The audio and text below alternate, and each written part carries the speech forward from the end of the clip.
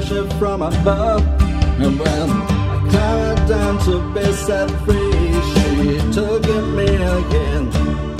That's what me.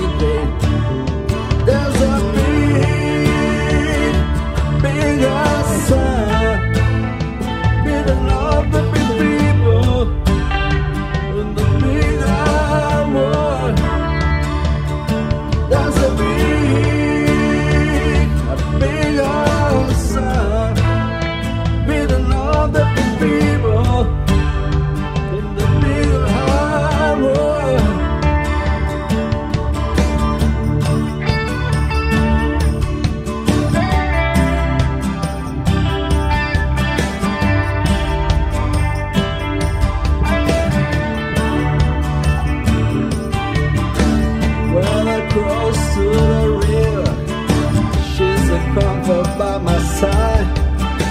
Where I try to